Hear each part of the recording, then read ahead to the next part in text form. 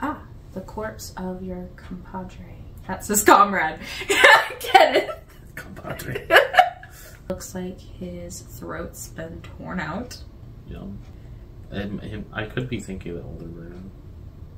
I'm guessing his throat's still torn out. yep, That's still his good. throat. Okay. Am I still on him? Yeah, you aren't walking. Oh. Sorry. There's a cat.